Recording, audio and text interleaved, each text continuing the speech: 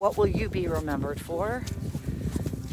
And are you embodying that in your day to day life?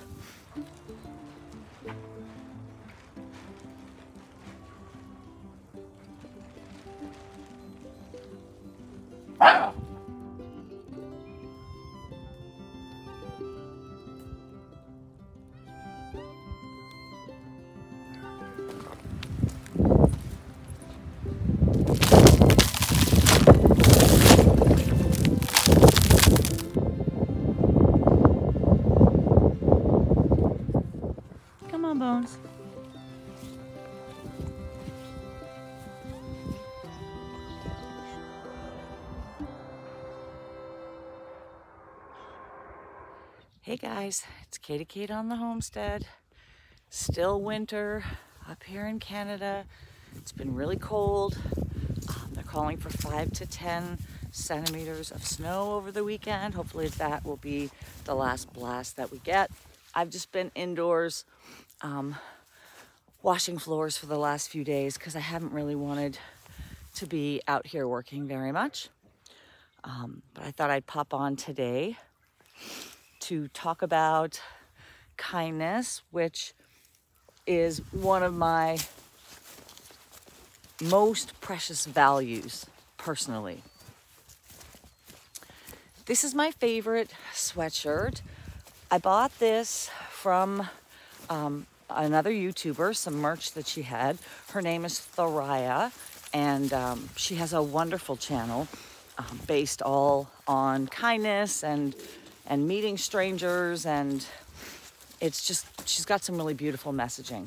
And so during COVID, I was watching a lot of her um, videos just to stay uplifted and keep my faith in the world, and um, it helped.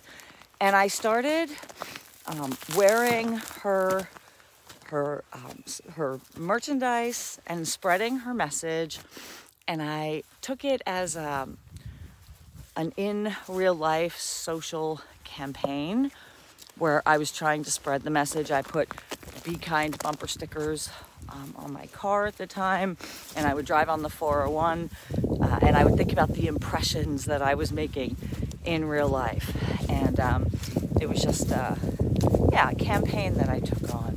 So I just wanted to share that, I guess. Um, what will you be remembered for? And are you embodying that in your day to day life?